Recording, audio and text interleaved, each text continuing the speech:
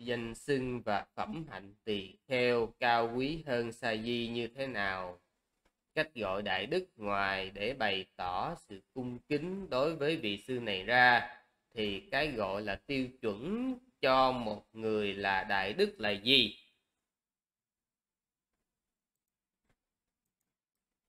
À, thưa với quý vị đó một vị tỷ kheo khác biệt lớn nhất với một vị sa di đó là gì? Vị đó thọ phù túc giới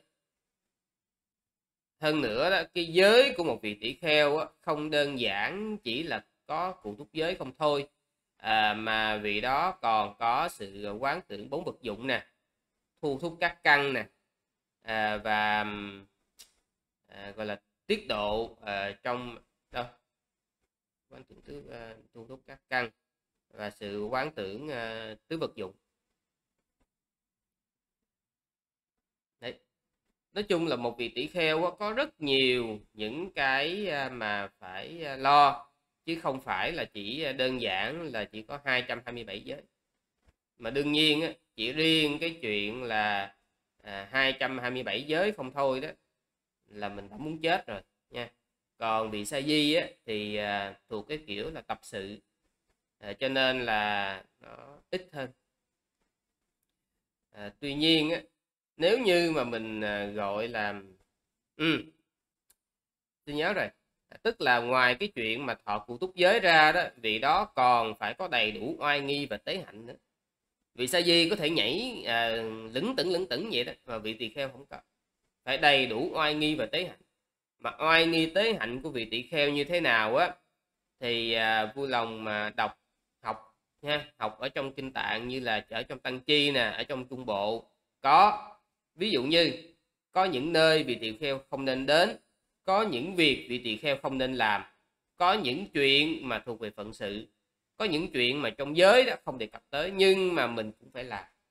Ngoài ra đó còn phải có sự sợ hãi trong các lỗi nhỏ nhặt. Ừ. thì um, nói là nói à, đại đức xin thưa là mình dùng cái từ đại đức hơi ẩu bởi vì á đại đức hồi xưa là lớn lắm. Lên tới đại đức là lớn lắm chứ không phải bây giờ vị tỷ kheo được gọi là đại đức đâu. Bằng chứng mình gọi ngài mục kiền liên là đại đức mục kiền liên. Mình gọi ngài xá lợi phất là đại đức xá lợi phất. Cho nên cái từ mà đại đức á, nó nó lớn lắm chứ không phải là chuyện đơn giản đâu.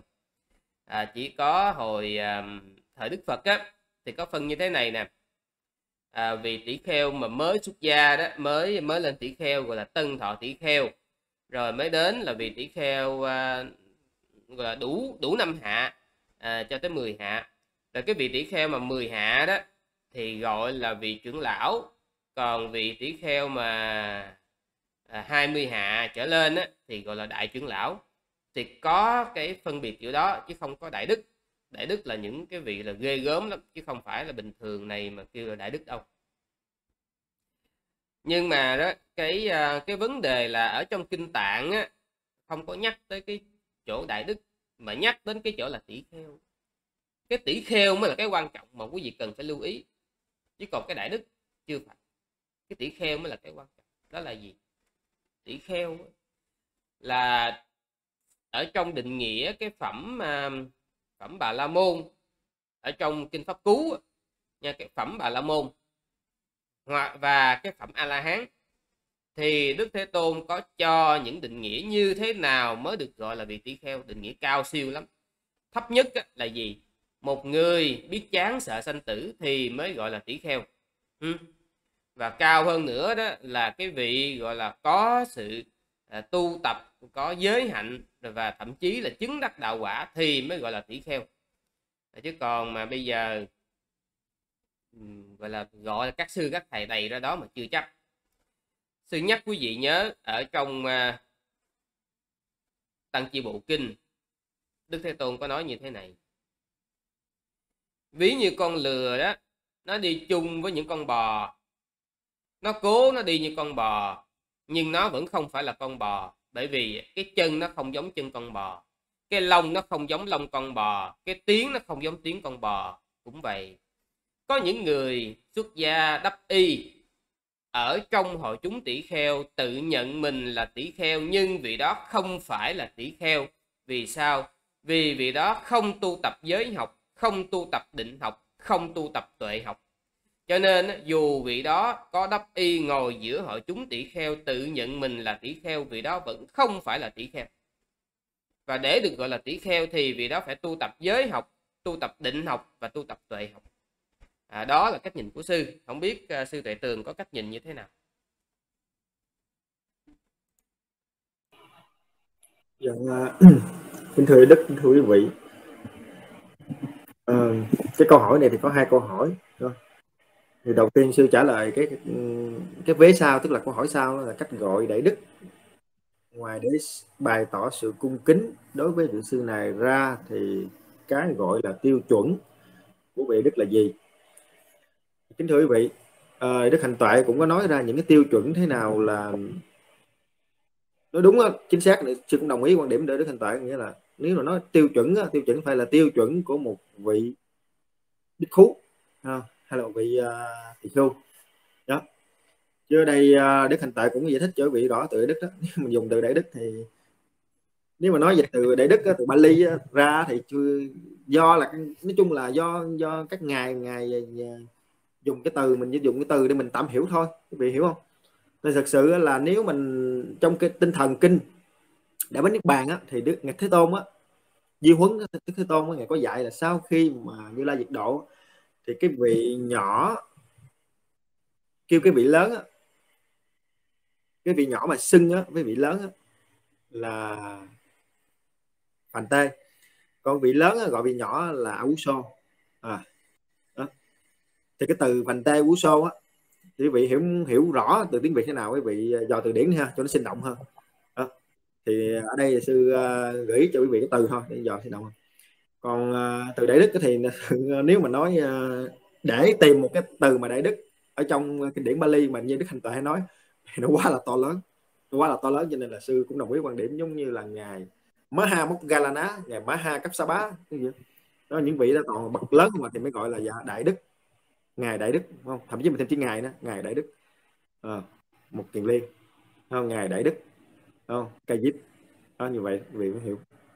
Rồi cái vấn đề thứ hai á là cái tiêu chuẩn á cái tiêu chuẩn này đức hành tệ cũng giải thích cho quý vị rõ đó. Cái tiêu chuẩn đó thì sư cũng đồng ý quan điểm luôn. À, là ngoài những cái tiêu chuẩn á, để gọi là tỳ tỳ khưu á là ngoài cái vị đó thành tựu về hình thức nghĩa là thành tựu về thành tựu về uh, cái uh, năm cái chi pháp mà thành tựu tỳ khưu thì được gọi là tỳ khưu. Về hình thức á thì ngoài ra thành tựu về tâm ý nữa quý vị. Tâm ý là như thế nào là như để đức hành tệ cũng trình bày đó.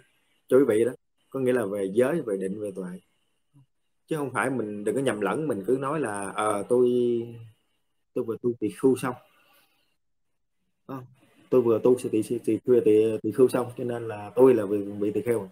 Thì cái đó là nó chưa đúng cái tinh thần của một vị tỳ kheo đúng nghĩa trong lòng kinh dạ rồi à, quay lại cái câu trả lời đầu tiên á thì các vị này hỏi là danh xưng và phẩm hạnh của tỳ kheo cao quý hơn sa di như thế nào? Thì để đức hành tại cũng có trả lời quý vị khi mà dùng từ cao quý hơn ở đây thì sư vẫn chưa có hiểu rõ cái từ cao quý ở đây là quý vị muốn hiểu nó như thế nào. Tại vì như để đức hành tuệ mà để đức hành tuệ có giải thích với quý vị đó là cái từ cao quý là sư cũng đồng ý luôn. Có nghĩa là để đức hành tuệ um, diễn giải cái từ cao quý theo cái tinh thần mà gọi là gọi là pháp hiệp thế đi ha.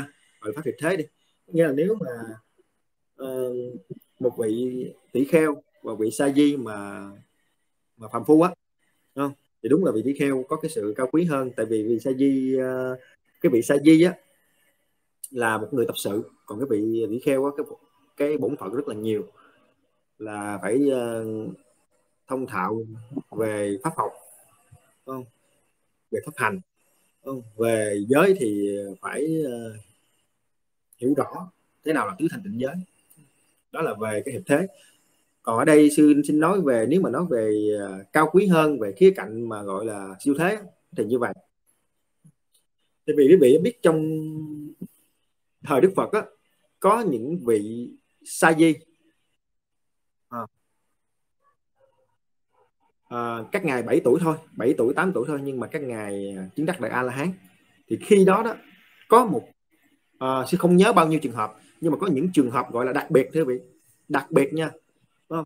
thì những cái vị sa di đó đó được đức phật um, nói là được đức phật nghĩa là xác nhận đây là vị tỳ kheo luôn à, vị tỳ kheo luôn chứ không phải là một vị sa di à. thì uh, cái từ cao quý hơn ở đây á, là mình phải hiểu vừa khía cạnh hiệp thế và khía cạnh siêu thế để mình hiểu rõ như vậy đó. Để mình cho dù là sa di hay cho dù là tỳ kheo thì mình đều có sự tính tâm, mình đều có cái sự cung kính, cái sự phục vụ, cái sự tôn trọng các vị ấy. Chứ không phải là mình hiểu rằng mình hiểu một cách hời hợt rằng à ờ, cái vị tỳ kheo thì cao quý hơn giữ giới nhiều hơn sa di, cho nên mà đó mình mình xem nhẹ, mình xem nhẹ cái vị sa di thì cái điều đó nó không đúng thưa vị cho nên là cho dù sa di tỳ kheo thì mình cũng nên hiểu hai khía cạnh như vậy. Khía cạnh hiệp thế khía cạnh siêu thế. Để mình có cái sự cư xử cái sự cung kính cái sự niềm tin cái sự phục vụ cho đúng đắn. Và cũng xin kết thúc cái ờ, câu trả lời đây. Yeah. thì ờ, thưa với quý vị sẵn thì sư nói luôn. Đó là đó giữa sa di với vị tỳ kheo á, thì có những cái nó tương đối nó chênh lệch với nhau nhưng mà điều đó không có nghĩa là các sư tức là các vị tỷ kheo là coi thường vị sa di, không nó giống như là một vị huynh trưởng thì chăm lo cho em của mình, hoặc là như vị cha à, lo cho con. Thương thì có thương nhưng mà nghiêm thì phải nghiêm. Tức là cái gì mà mình cư xử thì nó cần phải đúng. Cho nên có những cái mà không cho vị sa di tham dự vào. Ví dụ như à, những cái tăng sự không có cho vị sa di tham dự vào. Không phải là tại vì phân biệt đối xử mà những cái sự kiện đó, đó cần những vị chính chắn và cần những vị là đầy đủ giới và hạnh cần những vị có sự thâm nhập và hiểu chuyện. Đó. Hoặc như cái chuyện ví dụ như là ăn uống thì uh, quý vị sẽ thấy ở nhiều nơi ở um, thì sa di ở bàn riêng mà các vị tỷ kheo ở bàn riêng nó không phải là cái chuyện là các sư gọi là phân biệt đối xử rồi các sư không có thương không phải như vậy.